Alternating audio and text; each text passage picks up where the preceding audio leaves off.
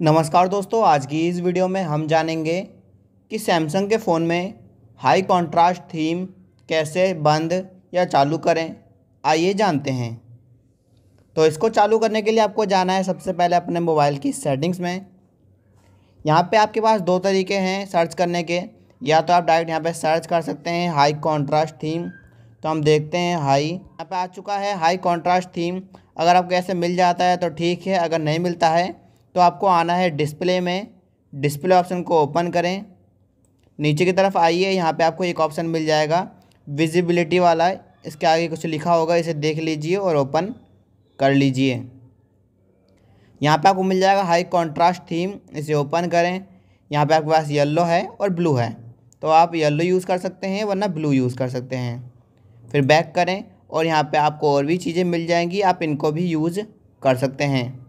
शायद आपको समझ में आया होगा। वीडियो पसंद आए, वीडियो को लाइक करें, चैनल को सब्सक्राइब करें। मिलते हैं किसी और नई वीडियो में।